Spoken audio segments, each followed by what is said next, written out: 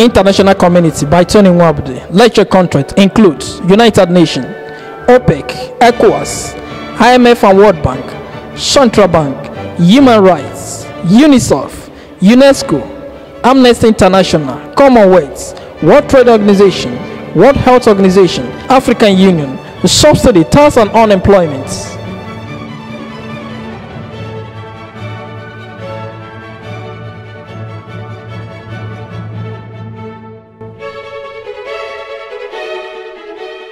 United Nations is an intergovernmental organization whose stated aims include promoting and facilitating cooperations in international law, international security, economic development, social progress, human rights, civil rights, civil liberty, political freedom, democracy, and achievements of lasting world peace. The organizations has five principal organs. The General Assembly, and which is the main deliberative assembly.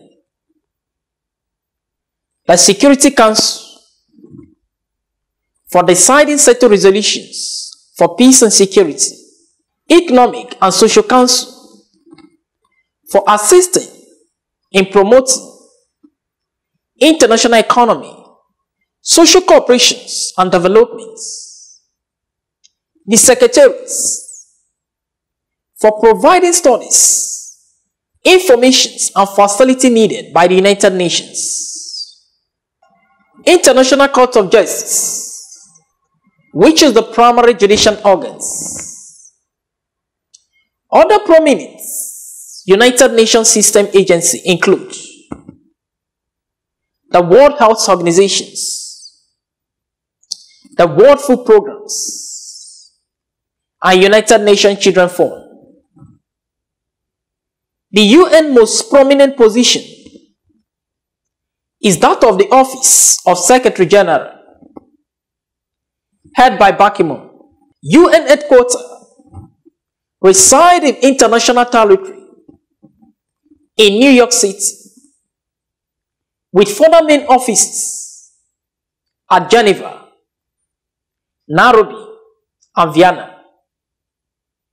The organization is financed from assets and voluntary contributions from its member states and has six official languages such as Arabic, Chinese, English, French, Russian, and Spanish.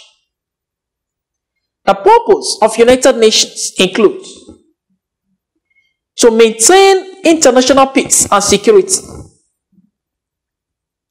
to develop friendly relations among nations based on respect for the principle of equal rights and self-determination of people, and to take other appropriate measures to strengthen universal peace to achieve international cooperation by solving international problems of an economy, social, cultural, or humanitarian character,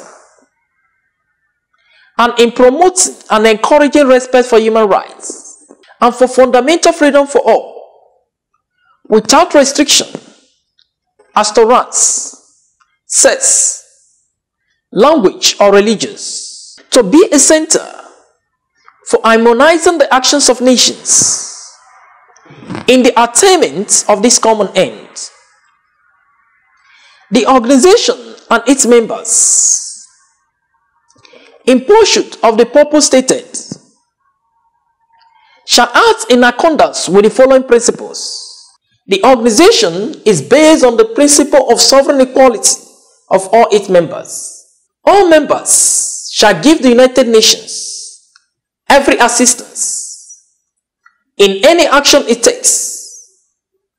I shall refrain from giving assistance to any states against which the United Nations is taking preventive or enforcement action.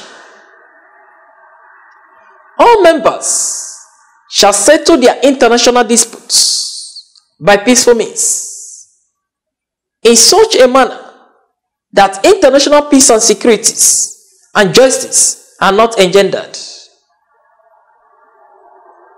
Nothing contains in the present charter shall authorize the United Nations to intervene in matters which are essentially within the domestic jurisdictions of any state, or shall require the members to submit such matters to settlement under the present charter.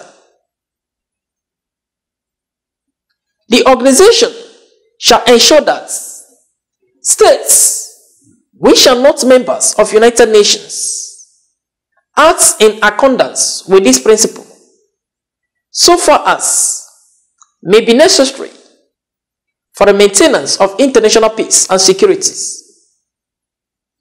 Original members of United Nations shall be the states which have participated in United Nations Conference on International Organization at San Francisco